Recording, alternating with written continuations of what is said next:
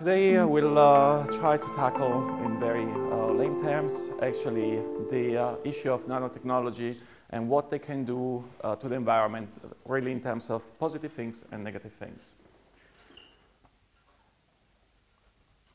So first of all I'd like to uh, everybody to have an idea about what are nanoparticles and of course as the name says are particles that are very small however it's difficult to visualize how small are these particles. Um, so they are defined as particle having, uh, um, um, having at least one dimension less than 100 nanometers. And so if we put, uh, for example, a slide like this one with a dot on that side and, uh, uh and a five cents coins, you can see uh, that you know, the dot is substantially smaller. But actually, these two objects are not to scale. In fact, the dot is much, much smaller. To give you an idea of how small uh, it is, uh, we can compare the five cent coins that everybody is familiar with with another object that uh, everybody should know fairly well. And actually the, the ratio between the nanoparticle and the five cent coins is the same as the ratio between, in size between the five cent coins and planet, planet Earth. So if you were to put five cent coins and uh, planet Earth next to each other, you probably won't be able to see the five cent coins very well. Uh, and that's the same ratio uh, in terms of size. So they are truly uh, minute um, objects. So what do they look like? Of course, at the nanoscale. Um, well, they come actually in any shape and form, and they have a very different composition as well. So here I just put some uh, of the classes um, of uh, uh, nanomaterials. Uh, of course, there are many more. There are a very large number of nanomaterials that are continually produced. These are just some of the most common examples. Um, so the first one here is uh, what is called a carbon nanotube. Uh, this is a two-wall uh, carbon nanotube. And in this case, the dimension that is less than 100 uh, nanometer, of course, is the, um, is the diameter here. Um, the, um, actually the length can be up in the uh, millimeter scale. Um, another class of materials, and this is what I will focus on tonight, uh, are really metallic nanoparticles. And uh, um, for example, nanoparticles that have a, a, core structure made of uh, metals like zinc uh, or silver. And on top of them, they can be functionalized in different ways to change their properties. Um, other materials are, uh, for example, nanomaterials are semiconductor uh, monocrystals. Uh, again, very small in size. Then there are quantum dots. There are a lot of other materials out there. But these are by far probably the most, uh, um, the most important in terms of, uh, of production and risk assessment. So why they are important and why they are so fashionable is because um, when things are in the nanometer size, they actually change properties. So for example, here you have the, uh, um, the changing color of quantum dots simply due to a change in size. So they are actually constitute of the same material. The only difference is the size of the particle and you see how the color change. So size does matter when you speak about nanomaterials. And of course, size not only matters in uh, terms of this property, but it matters in terms of many other properties, being them surface charge, activity, um, uh, capacity to uh, uh act as semiconductors, and so on. Anything that has to do with uh, uh, size or surface property. And this is not unseen in nature. So, for example, we are all familiar with, with opals. And the color of opals uh, looks very much like the range of color you can get in uh, uh, quantum dots. Uh, and in fact, I mean, the principle is the same. The different colors of opals are simply due to the spacing and the different size of the silica spheres that are in the opals. So the silica spheres are the same, they have different size. This different size is what we perceive as different colors in the opals. Another example that uh, is, uh, should be familiar to most of us is uh, um, this um, uh, nano zinc oxides. And there are a lot of products in terms of sunscreen that now uh, are advertised as containing zinc but are transparent. And this is another, um, another property um, that we can, uh, we, we can experience about uh, how things change when they are in the nanoscale. So now a lot of, uh, of uh, zinc-containing sunscreen contain not zinc uh, uh, in form of bulk oxide, but as nanoparticle. As a consequence, it is transparent. It acts exactly in the same ways as the old zinc we are used to, but you cannot see it. So I guess uh, uh, the old zinc is a thing of the past, a bit like some of the cricketers that used to love it, uh, unfortunately, I guess. So uh, where are they used? Um, actually, they're used in a, in a very large range of products. Um, we are not even sure about uh, in how many products they are. Uh, will be more in the future due to changing legislation, but they are actually a bit everywhere. Of course, in uh, sunscreen, makeup, um, so any cosmetic products, a lot of cosmetics products contain nanoparticles. Antibacterial paint, medical application, water treatments, you name it, they are everywhere. And uh, to give you an idea of how the industry is growing um, and the sector is growing at the time, there is an, uh, an institute in the US, the Woodrow uh, Wilson International Center, that has actually keeping, keep, kept track of uh, the number of products uh, in the market that contain nanoparticles. Uh, and this is, you know, products that, that really state um, the, uh, their content in terms of nanoparticle. There may be uh, many more out there.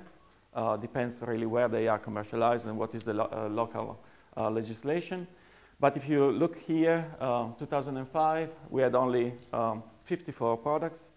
Um, six years later, 2010, we have over 1,300 products. So they are truly experiencing an exponential growth in terms of number of products that are continuously um, put on the market. And in terms of um, uh, where are they used, uh, anything from um, health, um, health uh, and uh, fitness to home and gardens, gardens in the automotive industry, um, in, uh, and even in goods for children.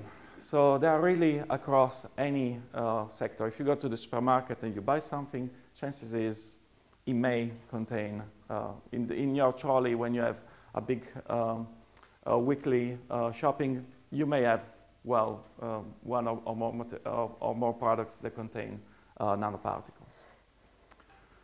Um, in terms of metallic nanoparticles, um, silver definitely uh, dominates. So silver nanoparticles are very much used uh, in uh, a lot of products. At the moment, well over 300 products contain silver nanoparticles, followed by carbon, carbon nanotubes, uh, titania uh, products, um, silicon, silica, zinc, and even gold nanoparticles.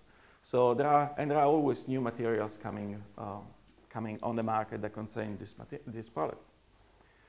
So this is um, um, actually what we know about uh, uh, the Australia situation in particular, and this is a document from NICNAS in 2007. Probably the numbers are quite different uh, at the moment, but you see that a lot of the products are actually used in the printing industry, uh, in cosmetics, uh, and surface coating. So in paints, um, there is a large use of this material. You have probably seen advertising for uh, you know, some of the paints that contain nanoparticles and are more resistant, for example, to UV, uh, and are designed for Australian conditions.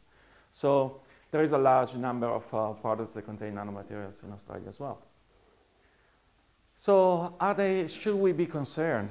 Well, one could think actually that nanoparticles have been around for much longer than, uh, than we think. You know, the term nano is very new, is very attractive, and is very uh, sexy, I guess, in terms of research funding. But actually, nanoparticles have been around for quite a long time. So, uh, for example, here there is a, the lovely gallery uh, that is uh, in, the, uh, in the Barnes Foundation in the US. And Albert Barnes actually made his fortune by commercializing this uh, which uh, in 902, 1902, uh, which actually was uh, uh, a product that contained nanoparticle silver. and he made an absolutely killing, as you can see, because if you look at these pictures, actually he liked to collect, as most of us do, um, impressionist painting from France uh, from uh, 1800. So he made an absolutely fortune, uh, and in fact, his collection is valued now at $25 billion. And he made it out of nanoparticles at the beginning of 1900. So because these products are actually have been in the, in the market for a long time, we also know quite a bit about some of the products in terms of human toxicity. And this is actually not a bad picture or a negative picture. This is actually the color of the skin, the skin of this gentleman. And this is a condition called, uh, called argyria. As you can see, it's very similar to the name argyrol here, and you know, both derived from the um, Greek name for silver, which is argir. And uh, uh, the effect of silver on humans is that it changes the color of the skin permanently. So you become literally blue. So this is not a fan of Avatar. It's actually somebody that uh, had too much silver for um, therapeutical use. So I guess, uh, you know, uh, he overdosed a bit um, in terms of self-medicating with, with silver. So we know quite a bit in terms of uh, silver toxicity to human, but we know very little about, um, and we know also about the toxicity of silver in the environment, but of ionic silver, not of nanoparticle silver. And we'll see later on that actually the two things could be quite different. So why sh we should be concerned? Because unfortunately, uh, history tells us that we got slightly wrong um, in the past. So every time we have introduced something in the environment, or several times that we have introduced something in the environment, we came across some, some problems later on.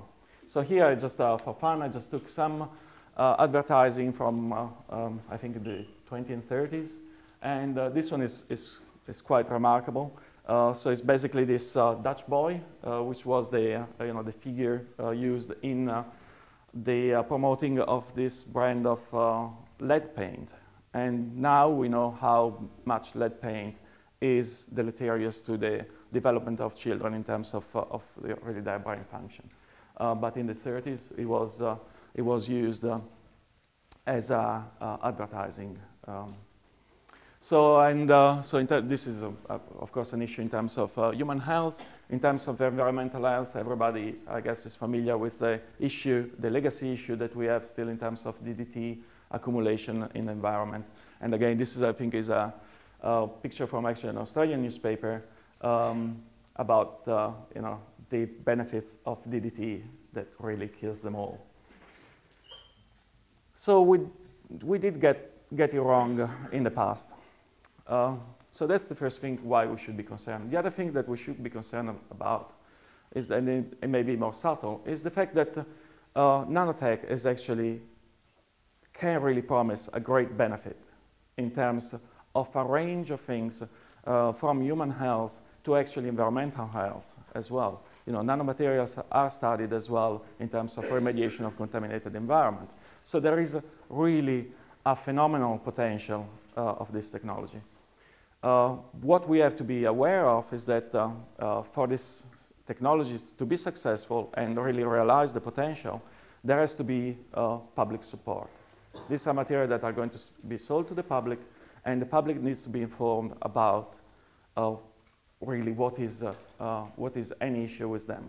And this reminds me very much, independently of what you think about that, about the debate on the genetically modified organisms, where we had a technology that developed very, very fast with the push from uh, industry like Monsanto in the US, uh, and public perception actually killed uh, very much in a lot of countries. I'm European, for, so for sure in Europe, the, um, the uh, uh, genetically uh, modified uh, organism industry in, in Europe. And this is, um, was not due to really to uh, establish risk in environment. That was just perceived risk. So it's important that at a stage where there is a new industry coming on the market, very strong, with a great potential, that we have an informed debate about it. And we, uh, because the potential is great and we don't want to kill an industry that is going to be, have great value uh, simply because uh, uh we, are not, we are not informed properly. Or the debate just takes uh, us on a tangent. So, so we should ask, uh, are nanoparticle um, ecotoxic? And I speak about just environmental toxicology. I'm not going to uh, human toxicology. That's really not my field. And of course they are. I mean, but so is uh, just basically everything else. If you use, you know, sodium chloride, your uh, kitchen salt, you are going to kill some organisms. Um, so everything uh, is is toxic to an extent. It really depends on the concentration, as we know from the uh, classics. Um, however, there are better questions that we should ask. Are nanomaterials toxic at the concentration that we are likely to find in the environment? And uh, is the toxicity of the nanomaterials different from uh, what we know about the toxicity of the compounds in a nanomaterial? In other words, is zinc as a nanomaterial different in toxicity from other forms of zinc that are already in the environment, possibly you know, the zinc galvanized on your roof that leaches out as ionic zinc. Are these two forms of zinc differing in terms of uh, effect and environmental fate?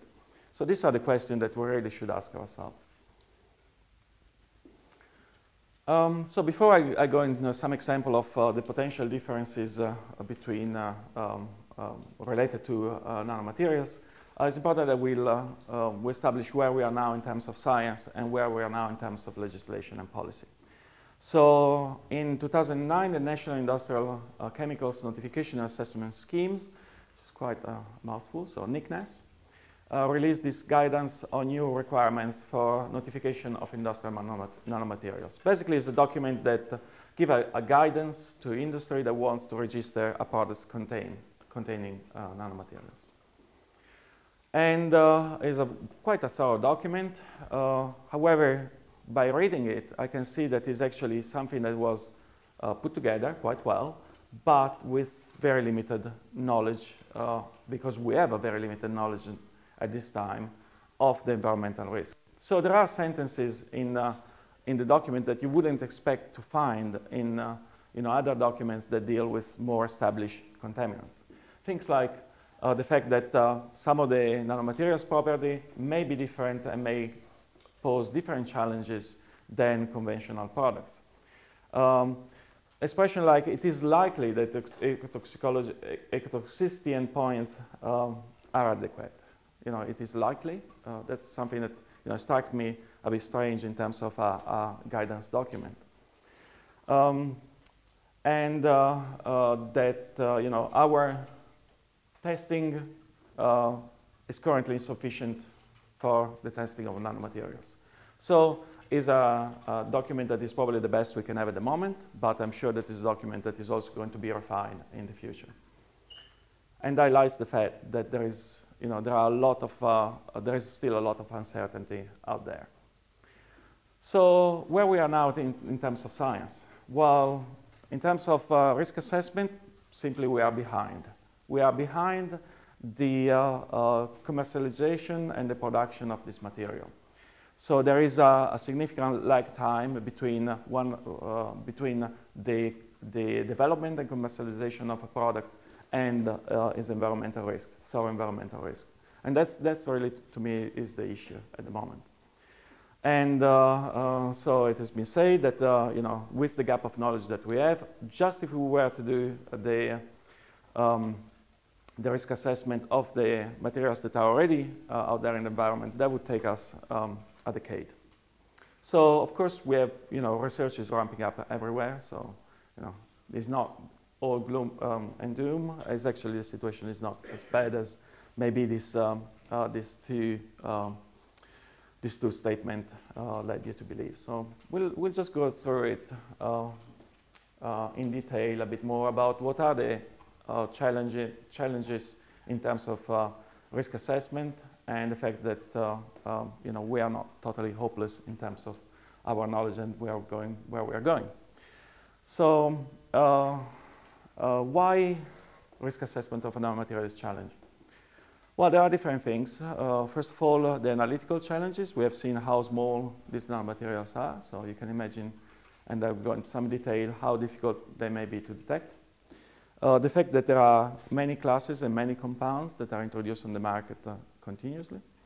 Um, the fact that we don't know too much about the mechanism of toxicity when uh, you know, uh, materials are of extremely small size. So we don't know if the particle, if the toxicity is particle specific or is just simply related to the composition of a material.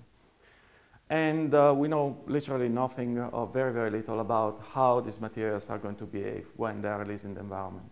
You know, in the case of pesticides, we found out that sometimes you know, the pesticide degrades, but it degrades to something that may be more toxic than the parent compound. So we don't, simply don't have this kind of information at the moment. So in terms of analytical difficulties, uh, that stems from the fact that size matter, shape matter, surface charge matter, surface area matter, porosity matter, uh, how they behave in the, in the environment uh, in terms of uh, agglomeration matters. So there are a lot of things that we have to measure, and we want to do that one at the nanometer scale. So you can imagine that this is not a trivial task, and we are getting better and better at it, but it's still quite challenging. And then once we release them in environment, where do they end up? How can we find them? Um, this is actually uh, um, uh, what we call uh, X-ray fluorescent map. Basically, the different color represent the location and the concentration of uh, um, zinc, iron, and copper. And this is in biosolid, which is, of course, the product of uh, of uh, wastewater uh, purification, and that's probably where the nanoparticles, metallic nanoparticles, are going to end up. This is the work from Erica here, and uh, it gives you the distribution in terms of uh, iron and zinc and copper on a 4 by 4 millimeters area, so very small area. The resolution was 2 micron, which is you know, something like a, a thousand times coarser than the size of the nanomaterials we want to look at. And you can look the incredibly large heterogeneity that we have in this system. So if we want to find here a particle that is, you know, a size that is one, uh, one thousandth of a pixel in this picture, we'd be in trouble. So it's really the uh, needle in the haystack maybe is not even a good example. It's really, you know, a grain of sand on a beach. Um, so it's something that, that is not trivial. Again, we can get around these issues uh, with, uh, in other indirect ways. Um, but still remains the fact that you know, we are uh, ramping up the research in these areas. We are, but we are clearly not nowhere there. We cannot, at the moment, we cannot measure the concentration of nanomaterials in the environment. We simply can't. So what we can do so is, uh, for example, model the concentration or the likely concentration in the environment. This, this is uh, really the work that uh, a group in Switzerland uh, is doing very well. And for example, they use this material flow analysis. Basically, it tells you you introduce materials in the market, and they can actually model uh, based on the uh, on the um, in which material it is, where is the use, and so on, where it is likely to end up in the environment. So you see, for example, that uh, in case of uh, metallic uh, nanoparticles, um, it's probably going to wash off in uh, some sort of wastewater and end up in a sewage treatment plant. Um, and based on that one, we can actually figure out whether it's going to be in the biosolid or in the liquid phase and in which compartment of the environment is going to end up. So this has been done for a, a bunch of countries, has not been done yet for Europe, but we are actually developing this, um, uh, this model for Europe, for, for Australia, in collaboration with Bernd Nowack um, in, uh, in Switzerland. And this is a really just first diagram, which is somehow similar to the other one, but we'll refine and we'll quantify the different fluxes in the future. And this is important because if you uh, know where thing goes, then uh, you can uh, um, determine what is called a predicted environmental concentration. So the concentration of the nanoparticles as predicted in the different compartments. And then you can compare that one with what we know in terms of toxicity. So if you divide the predicted concentration from the predicted no effect concentration, you get a ratio. If this ratio is larger than one, so it's likely, then you're going to have a, a problem in that particular compartment. And you can see that uh, in terms of uh, uh, clean wastewater is what I mean by the wastewater that you obtain after uh, the sewage water treatment. Uh, you may have a problem of uh, toxicity there. so there is some moderate reason for concern, or at least to carry on a proper assessment. However, I would like to, you to know this factor here. So there was an assessment factor of 1,000. So this is a basically a safety uh, issue. So actually, they, either the predicted environmental concentration or the predicted no effect concentration are multiplied by a factor of 1,000. So uh, in fact, the, the, the real risk is possibly very low because there is a very large assessment factor. It's just that we really don't want to get it wrong. We want to get it right the first time. Uh, going out there and try to sort out things afterwards is always difficult. So there is a, a lot of uh, uh, uh, precaution in terms of this assessment. So the other issue is that, of course, there are a lot of different materials out there, and they are um, not different in, term, in terms of composition, but really how they look on the surface. And because they are so small, they have a very large surface area.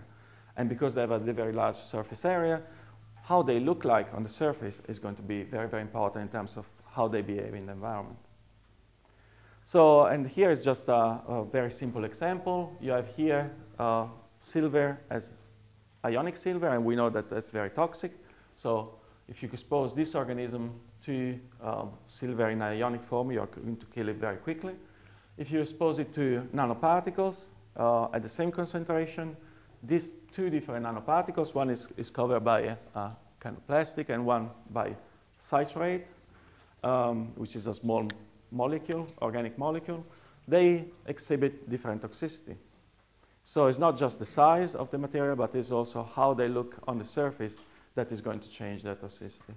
And this, in this specific case, is due to the fact that, for example, the one that is covered by PVP, uh, actually uh, release silver, ionic silver, at a rate higher than the other, the other, the other molecule or the other nanoparticle. So it's simply due to a, a dissolution rate. But this is not the, only, the only issue. The, only, the other issue is that the toxicity that we know in terms of metals is uh, generally related to the ionic form of a metal. So if you put sodium chloride in, in, uh, in water, it will dissociate with the ion sodium and the ion chloride. Okay? So if you put a salt in water, it will dissociate generally.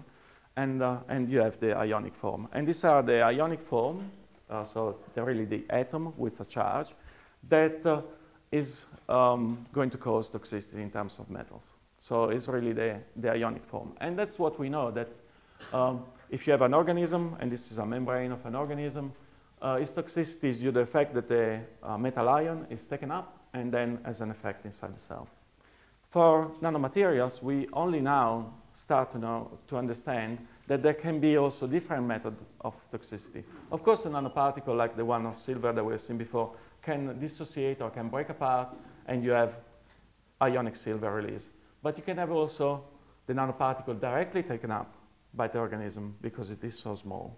Or it can interact with the surface of the organism and uh, uh, release this uh, reactive oxygen species that are going to have a different mechanism of toxicity. So we cannot really be sure um, or be uh, confident that we can use the risk assessment that we know for materials uh, like metal ions and apply it to nanomaterials. We simply don't know if the mechanism of toxicity is the same, and that's something that we need to figure out. The other issue is that when we put them in environment, we really don't know how to be, they behave. So, for example, and this is because they are very reactive, because they are very small, because there are a lot of things that can bind to their surface. So these ligands are things, you know, other molecules that can bind to their surface, because there are organisms that may degrade them, and because there are a lot of different characteristics that uh, influence their stability. So, um, so if you have a nanoparticle, it can be covered by humic acid, and the properties can change, and possibly the behavior and the, uh, and the fate in the environment can change. And of course, if they aggregate, well, they are not nanoparticles anymore. They are something like bulk particles, so the toxicity revert probably to what we already know. So this is uh, another example. Um, never mind really what this um, these spectra are, which are collected. It seems that you know to have something very very small, you have to have a very very large machine to uh, to analyze it. So this is the synchrotron in uh, uh, in Melbourne that just opened a few years ago, and it's probably the largest investment that Australia has ever made in terms of research. So I think it was just for the machine itself was 250 million. But you know, I think what is the bill for electricity? 20 million a year. So yeah, if you complain about your electricity bill at home, yeah, they are a bit concerned. um, so this is about the size of a football field, and this is Argonne in the US, uh, which is a, a, mile in diameter. And we are, you know, we are going often to these places, and this is actually an experiment that Kirk Scheckel from US EPA, which is there in the audience, um, did. And it's just to show you that when you uh, just look at the shape simply of, of, these curves, and you see that in a very, very simple system, we have the zinc nanoparticle and a bit of clay. Over time, uh, there is a change in shape. And this change in shape is simply because the nanoparticle reacts with the clay, and what you have is something different from what you um, introduced in the first time. And we need to understand if what uh, uh, the, the result of this product, for example, exhibit the same toxicity or the same behavior in the environment.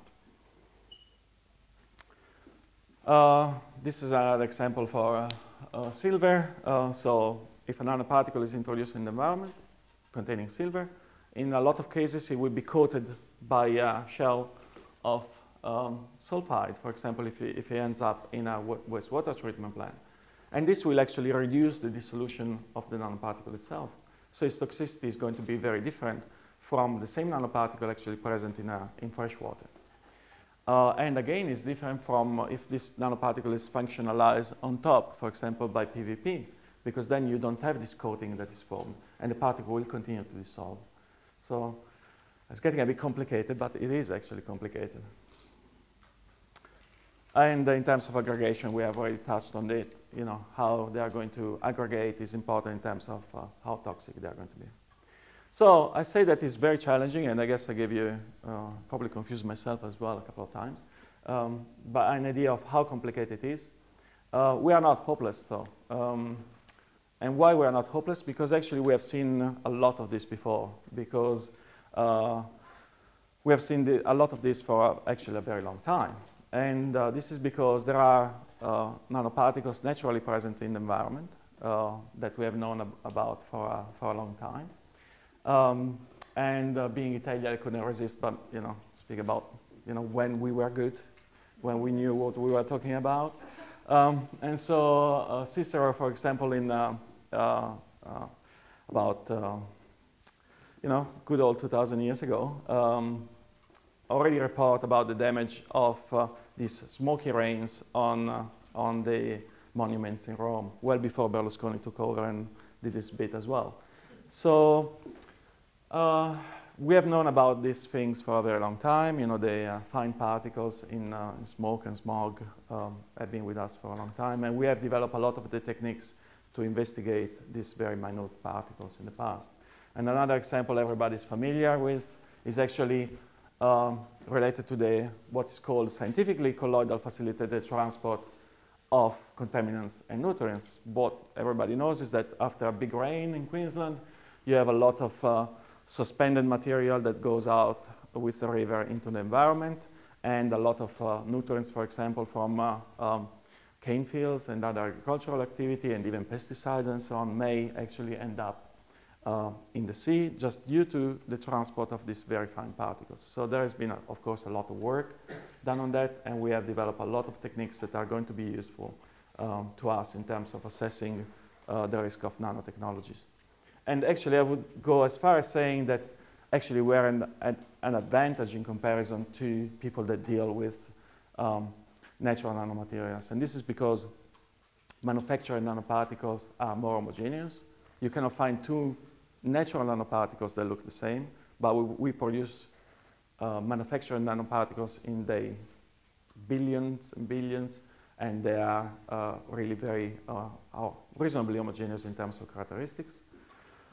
We can uh, actually get uh, pure nanoparticles and react them in pure phases. So we can break down uh, complexity of the system and see how they behave in, in much simpler systems. We can also tailor make them and uh, uh, with different parameters. Uh, and we, I'll go back to it in a second.